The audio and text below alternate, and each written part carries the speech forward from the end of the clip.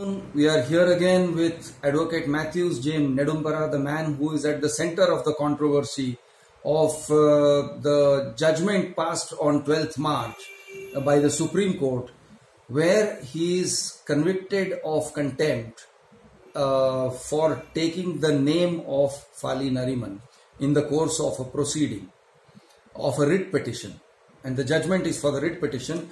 Now, the writ petition was filed on the, on behalf of National Lawyers Campaign for Judicial Transparency and Reforms, which has 14,000 members who are first generation lawyers all around India. Uh, Mr. Nedumpara, can you tell us what this is all about? What is National Yes, yes. Lawyers Campaign? So I will not comment upon the judgment aspect. So National Lawyers Campaign is probably the first ever organization of this nature anywhere in this country. And the motivation, the reason is in the temples of justice, there certainly is discrimination exists. The, the life of first generation lawyer, however talented he is, is extremely miserable. And look at, see, I would rather, the, the statistics are there to see. Say 95% of the legal fraternity belongs to the first generation lawyers. But you find hardly any representation for them in the higher judiciary say the, the, the past and the future chief justices all belong to the either the sons of former chief justices or the former advocate generals and all belong to the elite class elite class. The first generation lawyers hardly have no representation at all. So the what is the reason? I would say the collegium system of appointment of judges is to, to a large extent responsible for the same. And what is the solution? The solution is, see, like as we do in the civil service, the the the, the IAS, IPS, IFS, all the vacancies are notified. They all eligible are entitled to apply. Then it is screened. There's a preliminary test is there. There is a then the main examination is conducted. The, the return test is conducted. Then the most meritorious and the deserving are selected. The same can be adopted in the appoint the matter of appointment of the uh, Uh, judges of the high courts and supreme court. And many countries even in england the office of the August office of the chief justice of the united kingdom is advertised and the attorney general applied for it. So therefore you know the same system we need to adopt for it. The vacancy in the office of the judges of the high court so too of the supreme court and even including the chief justice of india can be advertised and applications can be invited. Maybe that the Attorney General may apply, or maybe very eminent lawyers may apply. So therefore, then the question is, when if there are too many applications, how to screen it?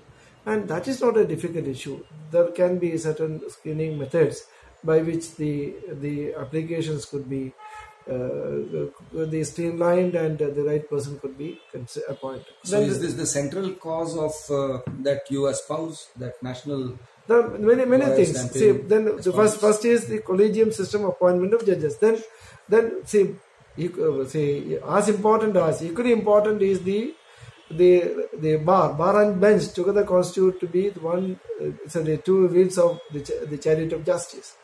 So lawyers have a great important role. And today, see only the senior lawyers, designated lawyers, they they alone they they alone have a meaningful role in the higher judiciary.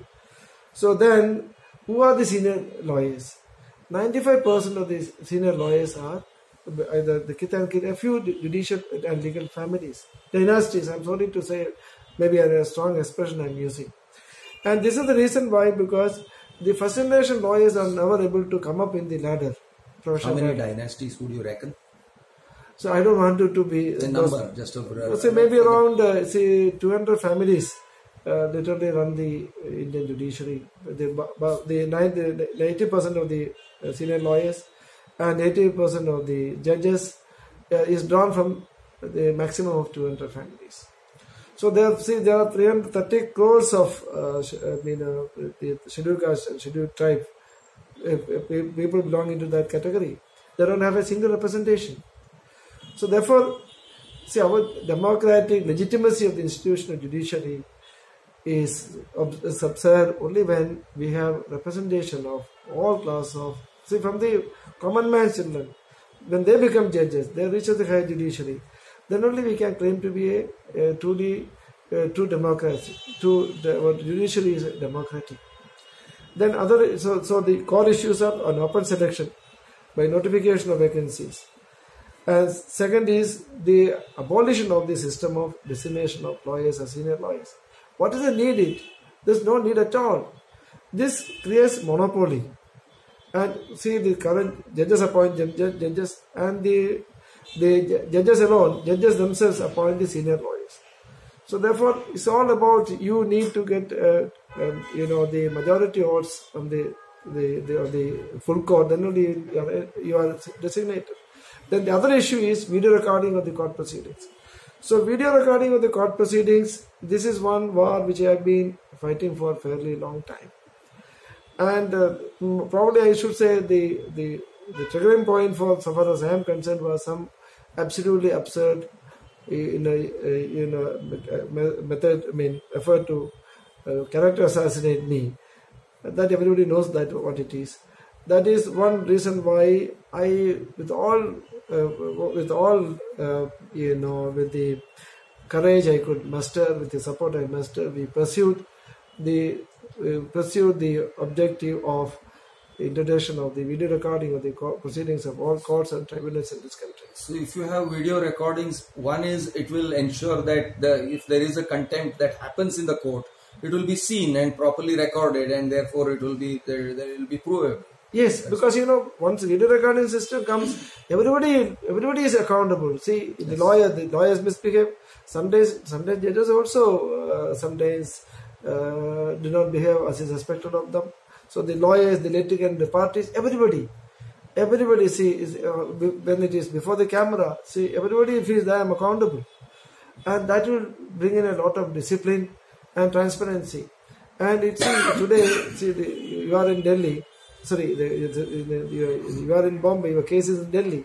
So what transferred in the court, you get a copy of the uh, video. Then you will come to know what my lawyer argued, what questions the court asked, what transferred. So this is this is done in almost all, everywhere in the world. So how do people join with NLC? Can a common man join, or is it only the lawyers who can? See, join? uh, see, initially we formed it as a national people's campaign for judicial transparency. Then you know we, then you know mostly it is lawyers only came forward, and therefore we had to you know rename it as a national uh, lawyers campaign for judicial transparency. But there are a lot of lot of lay people who take a lot of interest in the NLC. So NLC, despite its name, National Lawyers Campaign for Judicial Transparency, has a layman section, lay people who are members. So therefore, law students, lay people. And today I find that it there is a major support for us. And there are many other issues. Like, you know, see, uh, the judges should enjoy absolute immunity. They should have all the protection. And the lawyer should also have all the protection, immunity. And therefore, the absolute immunity, concept of absolute immunity, which judges, enjoy today, I believe the time has come to revisit it. That they should enjoy have all immunity and protection, but at the same time, it is not it is not as if that uh, the uh, where the immunity is not misused at all. That is one of the our objectives. Uh, then you know the strengthening of the uh, civil courts. That's a subject which may require some time to explain. I would only say that the constitution founding fathers visualized the civil courts to be a court of plenary jurisdiction. Which is a, civil courts are contemplated to be the truly constitutional court. I will explain in two three words more. When the before the constitution came into existence, the vires of the constitutionality of an act of parliament could have been uh, questioned, and the forum was the civil court, ordinary civil court. In 1942, CPC was amended.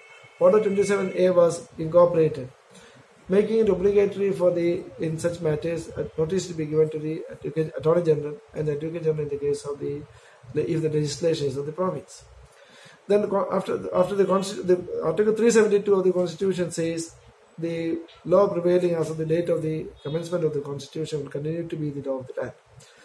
So therefore, when the Constitution came into existence, courts could have declared an act of parliament as unconstitutional. The same position continued.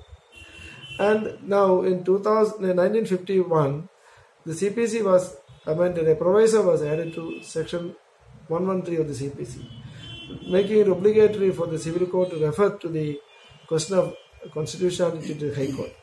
But the civil court does not necessarily always mean that subordinate judiciary. The High Court of Bombay has original civil jurisdiction. Delhi High Court, Calcutta High Court, Madras High Court. So therefore, the constitutionality of a statute to be questioned. The most appropriate forum to do so is an ordinary civil suit. But in actual practice, in, in a, people used to invoke Article 226 and Article 32 of the Constitution, and uh, uh, then and in, invoking the articles, a declaratory remedies were sought. And today, if I say that the constitutionality of a act of parliament could be challenged in a civil court, uh, most people consider to be an incorrect proposition. So your position as a national lawyers campaign is that it should be that uh, civil courts can hear Yes, because today, see, today, uh, I'm not. Uh, it has to don't don't mistake me for criticizing the institutional judiciary. Today, who can come to a high court? Who can go to Supreme Court? Article 32 petition that only Ratan Tata or the late can invoke. accessibility to the common Yes, man yes, is an yes. issue. Who can come to the high court? And again, you see, uh, for a man in uh, far off Satara or in uh, Maharashtra or even Pune or some far off places, he has to come to Bombay to file a writ petition.